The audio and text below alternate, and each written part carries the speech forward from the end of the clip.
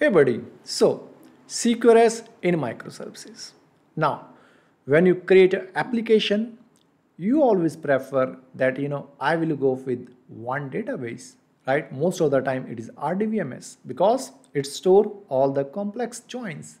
And we yes, you know when we create database, when we create application, we think of you know normalization, right? So all those parameter and we choose this is my SQL or this is my Oracle database which is going to take care of my application. This concept was without CQRS. When you want to implement CQRS in your project, in your microservices, over here, don't confuse yourself with, you know, CQRS, just simple CQRS design pattern because, you know, that is about something about C sharp. The core concept is same here, that command and query, but this is on bigger part. Over here, you know, this principle talk about not just single database. This principle says that, you know, divide the responsibility of command, which is write operation, and query, which is read operation, and not just the operation, but to the database level. Create two database. Yes, you heard it right. Create two separate database. One database will take care of all the write operation through command. That is insert update delete.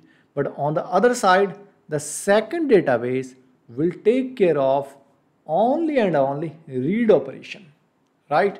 So divide the responsibility into two different database. Now you know how we will decide the next question is how we will decide that you know for write database what sort of database we should use whether it's SQL, NoSQL, right? And same for read database. So when it is a write database, we should always choose RDBMS because when you wanted to write something, you will store the data in different tables, right? To different foreign keys, right? All sort of keys. So the storing is always complex into multiple tables. So go for RDBMS. Now, when you wanted to read the data, you always need fast. You don't want your client to wait for a long time on the screen right? So you want the performance. Over here you will go with NoSQL because NoSQL for sure they have the higher performance right? So over here you can go for you know uh, MongoDB CosmoDB Azure Search Elasticsearch. All those options are available there. Now if you look at this diagram this is the same thing what I said over here, user come, they make changes on the UI. Let's say he updated the information from the, the last name was Parveen, he made that to Yadav, right? Now that will go through command and make the changes in the write database. Next step is he wanted to read the information for all the salaries for all the employees. Now that time this will not go to write database. It needs to fetch the record. So it will go to read database, right? And it will display the data. So that is the CQRS on different database level. You know, what if I ask you that, yes, you have used CQRS before? You must be surprised, right? But yes, most of us have used CQRS before, whether you know that or not. So, you know, you remember sometime in our application, in our database level, though we use just one database, but directly, indirectly, we you know use the same strategy of CQRS. We go and we create views. We know that you know we have complex joins and that will make my system quite slow. And in that case, we create views, right? So view does the same thing, right? So instead of going into the real tables, you create one view table and you make all the select queries from there and all the write operations into real table, right? So if you look at this diagram, it's like similar what I've shown before, but over here if you see, this says that you know write database is what tables and read database is what materialize view. So yes, my friend, you have used it before, right? If you have worked with view, you have used that before. So over here, though the database is one, see, they are talking about tables. It says write database, but here we are saying tables. It is saying read database, but over here we are saying it's materialized view. So we have used it. Okay, okay. Now you know the bigger problem in maintaining these two database. Now you must be thinking how we will you know keep the synchronization with these two database if I have updated you know the salary of the employee into the write database, how the at the same time read database get all those records, right?